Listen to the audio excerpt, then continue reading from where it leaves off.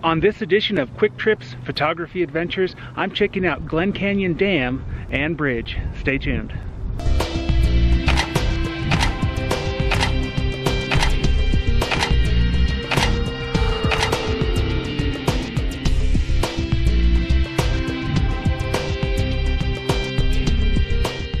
So today I'm in Page, Arizona. It's a very windy day. You can see uh, my shirt flapping around. Uh, but I am in Page, Arizona checking out the amazing Glen Canyon Dam and passenger car bridge. Um, spectacular scenery. It's kind of overcast today, so it kind of has that nice blue sky with these rich, uh, rich sandstone rocks behind me. Um, and I've got a nice composition set up uh, for a panorama.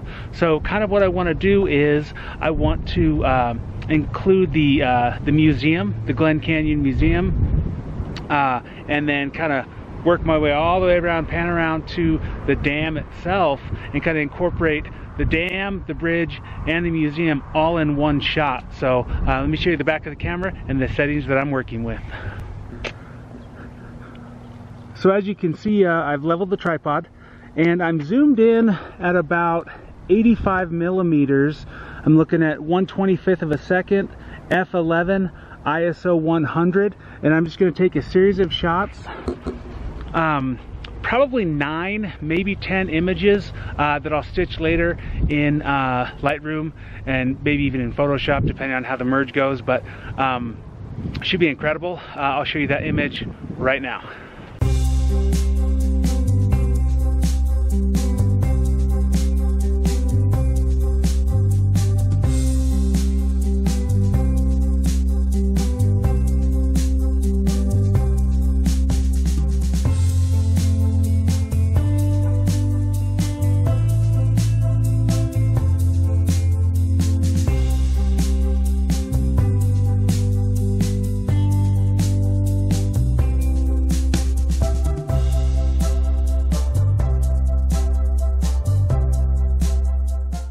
So hopefully that image will turn out as good as I uh, have foreseen kind of on the back of the camera.